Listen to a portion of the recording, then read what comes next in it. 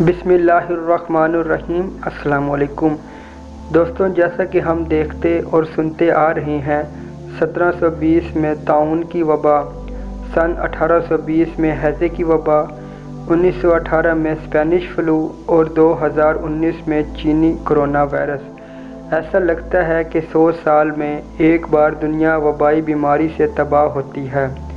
آخری حالیہ وبائی امراض جن کا ہم تذکرہ کر سکتے ہیں وہ ہیں سن سترہ سو بیس میں تعاون سترہ سو بیس میں بوبن ٹاؤن کی مہلک بیماری۔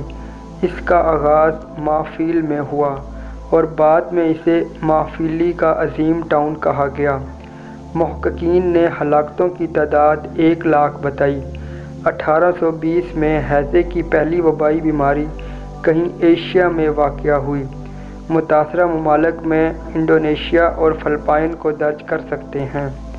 اور اس وبائی بیماری نے لوگوں کو اسی طرح وسیع تعداد میں ہلاک کیا، جس میں ایک لاکھ کے قریب سرکاری طور پر اموات رجسٹر ہوئیں۔ اس کا اثر کردہ بیکٹیریا متاثرہ جھیلوں سے پانی کی کھپت، انفیکشن کی بنیاد بنی۔ انیس سو اٹھارہ میں اسپینش فلو، جس نے لگ بھگ تقریباً پچاس کروڑ لوگوں کو متاثر کیا اور دو کروڑ لوگ اس وبائی بیماری سے لقمہ اجل بنے۔ تاریخ میں سرکاری طور پر ریکارڈ کیا جانے والے مہلک وبائی بیماری کا سرکاری ریکارڈ اسپینش فلو کے پاس ہے۔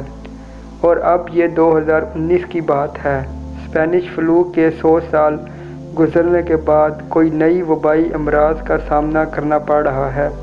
جس کو کرونا وائرس کہا جاتا ہے۔ اگرچہ چینی حکام باضابطہ بیان دینے سے گریزاں تھے اور انہوں نے لوگوں سے پرسکون ہونے کی اپیل کی تھی، لیکن صورتحال تیزی سے خراب ہوتی جا رہی ہے۔ دوستوں کمنٹس باکس میں ہمیں اپنی قیمتی رائے کا اظہار ضرور کیجیے گا۔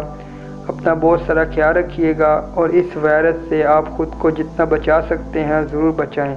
باقی جو خدا کی رضا ہوگی وہی ہوگا۔ تمام دوستوں کا اللہ تعالی حامی و ناصر رہے۔ آج کی ویڈیو میں اتنا ہی۔ اگلی ویڈیو تک کے لیے اللہ حافظ۔